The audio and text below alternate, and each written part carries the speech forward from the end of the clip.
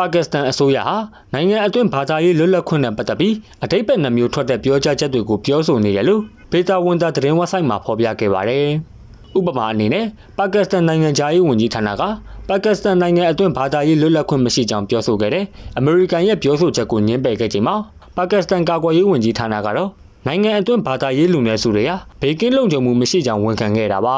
မကြသေးမီကအမေရိကန်နိုင်ငံခြားရေးဝန်ကြီးဌာနရဲ့ဘာသာရေးလွတ်လပ်ခွင့်ဆိုင်ရာနှစ်စဉ်ထုတ်ပြန်ချက်မှာပါကစ္စတန်ကိုကမ္ဘာပေါ်မှာဘာသာရေးလွတ်လပ်ခွင့်ချိုးဖောက်တဲ့အဆိုအရဆုံးနိုင်ငံများစံရင်းမှာထည့်သွင်းဖော်ပြထားပါတယ်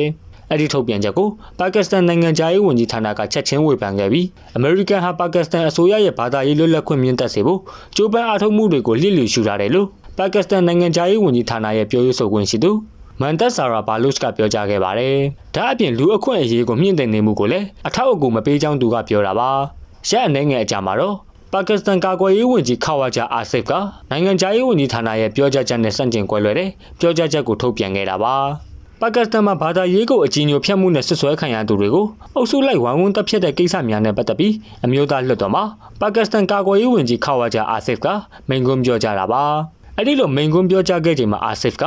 နေ့စဉ်နေ့တိုင်းလူနည်းစုတွေဟာအသက်ခံနေရပါတယ်။သူတို့ဟာအစ္စလမ်ဘာသာဝင်အဖြစ်အယောင်ဆောင်ထားသူတွေရဲ့လက်ထဲမှာဘေကင်းလုံခြုံမှုမရှိပါဘူး။ပါကစ္စတန်ဟာနိုင်ငံတကာမှာမျက်နှာပြတ်နေရပါတယ်။ပါကစ္စတန်မှာဂိုင်းကနကွဲပြားတဲ့မွတ်စလင်လူနည်းစုတွေကဘေကင်းလုံခြုံမှုမရှိပါဘူး။ဒါဟာရှက်ဖို့ကောင်းပါတယ်လို့ကာကွယ်ရေးဝန်ကြီးအာဆစ်ကပြောကြားခဲ့တာပါ။ဒါအပြင်ပါကစ္စတန်မှာဆွန်နီမွတ်စလင်တွေက90ရာခိုင်နှုန်းရှိပြီးရှီယိုက်မွတ်စလင်တွေက10ရာခိုင်နှုန်းရှိကအာမဒီဘာသာဝင်တွေကိုတော့ပါကစ္စတန်ဥပဒေအရမွတ်စလင်မဟုတ်သူတွေအဖြစ်သတ်မှတ်ထားပါတယ်။ ဒါအပြင်ဘာသာရေးအသေးရဖြတ်မှုနဲ့ဆွဆွဲတပ်ပြတ်ခံရသူအများစုဟာဘာသာရေးကြောင့်မဟုတ်ပဲပုဂ္ဂိုလ်ရေးရန်ညူရန်စားတွေကြောင့်တပ်ပြတ်ခံရခြင်းဖြစ်တယ်လို့လည်းအာဆစ်ကပြောကြားခဲ့ပါတယ်။